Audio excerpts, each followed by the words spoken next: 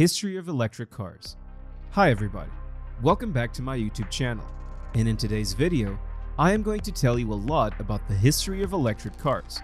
But before we start, make sure you subscribe to this channel and don't forget to hit that bell icon so you never miss any updates. You won't believe it, but the electric car has a long and storied history. So we travel back in time as we explore the history of the electric car. Starting in 1828, innovators in Hungary, the Netherlands, and the US creating some of the first small-scale electric cars. 1889 to 1821, first electric vehicle in the US. William Morrison from Des Moines, Iowa, creates the first successful electric vehicle in the US. It is little more than an electrified wagon, but it sparks an interest in electric vehicles. 1899. Electric cars gained popularity very fast. Compared to the gas and steam powered automobiles at the time, electric cars are quiet, easy to drive, and didn't emit smelly pollutants. 1900 to 1912. Electric cars reach the next step. By the turn of the century, electric vehicles are getting popular in the US, accounting for around a third of all vehicles on the road. 1901. Thomas Edison takes on electric vehicle batteries. Electric cars demand increasing rapidly, exploring ways to improve the technology. Thomas Edison thought electric vehicles were the superior mode of transportation, and he worked to build a new battery. 1901. First electric hybrid car is invented. Ferdinand Porsche, founder of Porsche, creates the Lohner Porsche Mixta, world's first hybrid electric car. This car is powered by electricity stored in a battery and a gas engine. 1908 to 1912. The mass produced Model T makes gas powered cars widely available and affordable. 1912. The electric starter is introduced. This helps to increase the sales significantly. 1920 to 1935. Better roads and discovery of cheap Texas crude oil helped contribute to the decline in electric vehicles.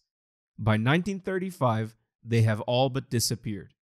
It made gas readily available for rural Americans and leading to the rise in popularity of gas powered vehicles. 1968 to 1973. The next 30 years, cheap, abundant gasoline and continued improvement in the internal combustion engine created little need for alternative fuel vehicles. In the 1960s and 1970s, gas prices soar through the roof, creating interest in electric vehicles again. 1971. Over the moon with electric vehicles.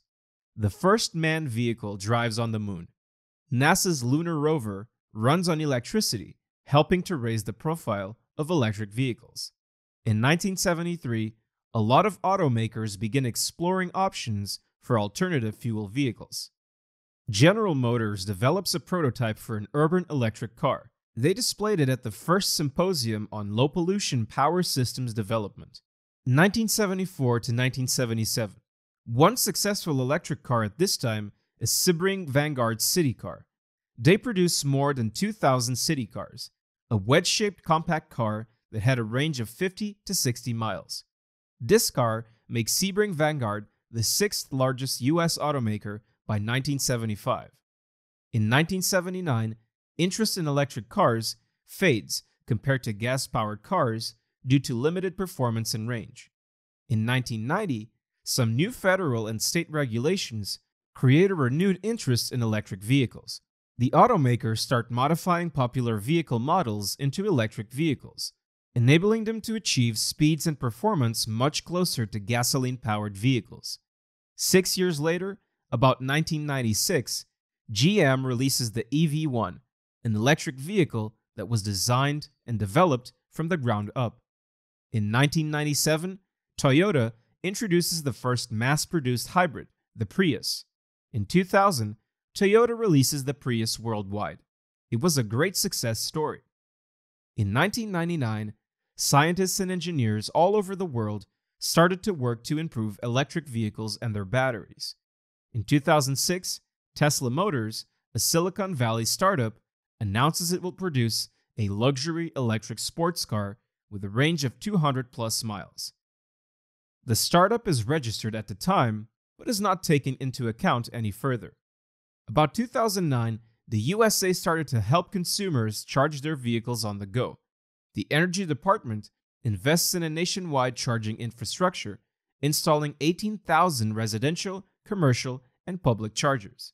In 2010, GM releases the Chevy Volt, the first commercially available plug in hybrid. The Volt uses battery technology developed by the Energy Department. In December 2010, Nissan releases the Leaf, an all electric, zero tailpipe emissions car. A breakthrough in 2013. The battery costs drop. Battery costs drop by 50% in just four years, helping make electric vehicles more affordable for consumers. In 2013, BMW presented its first electric car, the i3. It was available as a purely electric car and also with a range extender, small internal combustion engine in the rear, which increased the range again. About 2014, consumers have a multitude of choices when buying an electric vehicle, including hybrids, plug in hybrids, and all electric. Breakthrough in 2017. Tesla launches the Model 3. Tesla finally releases its Model 3 in late 2017. The Model 3 will be mass produced in sizable numbers. Tesla will sell about 400,000 units per year about 2020, an unbelievable success. In 2021, Porsche releases a powerful car, the Taycan. It is the first all electric car from Porsche that attracted a lot of attention worldwide. The Taycan Turbo S, in particular, is repeatedly compared with the Model S. From then on, however, the competition also grows. Today, there are some promising companies such as NIO, Lucid, Rivian, BYD that make it difficult for Tesla. In addition, of course, the classic automobile manufacturers who have not left the field without a fight. Above all, Mercedes Benz, Volkswagen, or most recently, Porsche with its model Taycan. Conclusion The future of electric cars looks very good at the moment because there are more and more manufacturers and research is being funded enormously. A decisive breakthrough in the field of battle research seems to be only a question of time to solve two important problems the range and charging time. That's all for today's video, and thanks for watching this video. I hope you liked it. If you liked the video, make sure you give it a thumbs up and share it with your friends. Don't forget to share your thoughts and valuable feedback with us in the comment section below. You can also suggest to us the topics we should cover in our upcoming videos.